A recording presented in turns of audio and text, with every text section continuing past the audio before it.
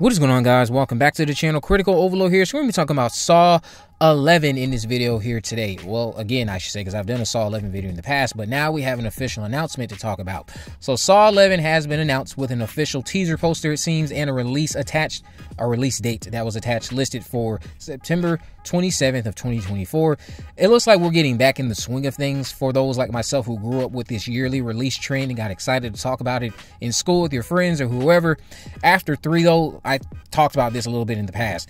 I kind of was more of an autopilot viewer and I would still watch each one as they drop, but never repeatedly like how some of my friends, and I'm sure some of you did. I just, I never was that type of person. After the third movie, I just kind of was losing interest, but I was still intrigued to watch each one as they dropped.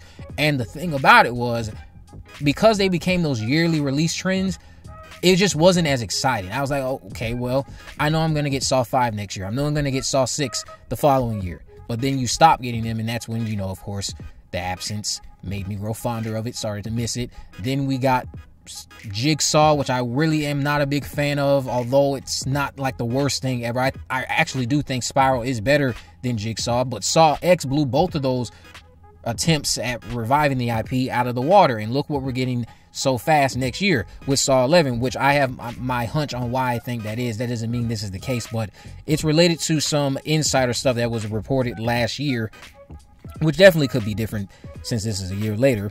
But I'm down for Saw 11, and I haven't been this excited about a Saw announcement in a while. I guess I would say since I was a kid.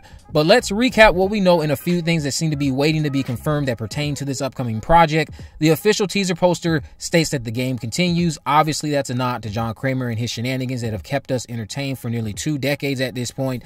In fact, now that I think about it, this is a really cool thing they can do next year with the release because they can use the movie to celebrate the 20th anniversary of Saw next year.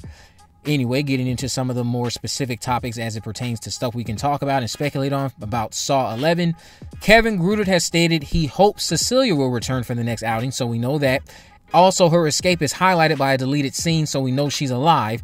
Josh Stolberg and the co-writer I'm drawing a blank on with his name, I think it's Pete. We know both of them are not returning to pin this. He tweeted a few days ago, Thanks, yes, Pete and I will be taking a break from Saw for a bit to focus on other projects. Feeling lucky about doing three and happy to go out on a banger, which they absolutely did. But believe me, you're in good hands. Now, I wonder who these good hands are, but I'm going to speculate on that a little bit later.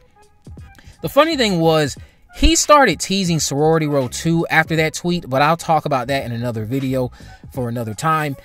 Jumping into who I think these writers could be. Reliable Saw Reddit user Vink360 said this about Saw 11 plans almost a year ago. This person has been right about Saw X, and they were right about a lot of things with Saw X before it even became a thing.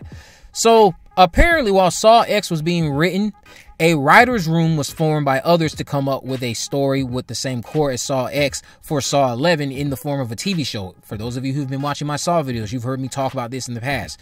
This story, I guess, would have had no apprentices. It was all John Kramer, but the story would focus on the victims instead of how we got the John Kramer centric thing with Saw X. And this story is also set between Saw and Saw 3. So I'm curious if this TV show idea has been turned into a film sequel to Saw X, and that explains why we're getting Saw 11 next year, not only because of the old trend returning, but because Saw 11 has been in the works for over a year in, in collaboration with Saw X. Obviously, it's likely to include Amanda again, Hoffman, Cecilia, like Greutert mentioned. Also, we have this listed on Production Weekly. Shout out to UK uh, that would lead us to believe, for now anyway, that Saw 11 will be filming in Toronto, but we'll just have to wait and see how true that is. Now, the last thing I was going to mention are the specific names I'm thinking of who could be involved.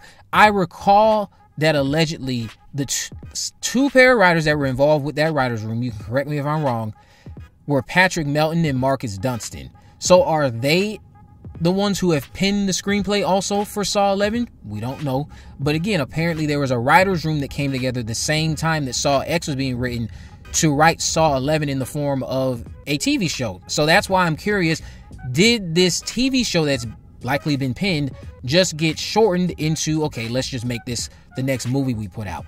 We're going to have to wait and see. And I think that likely is what the case is because that kind of backs up why we're going to get it so quickly. But again, we also know that this is the trend with Saw for those of you who grew up with this trend like I did. Let me know what you guys think about this down in the comment section below. Are you excited for Saw 11? Let me know down in the comment section why or why not. Do you just want the franchise to end?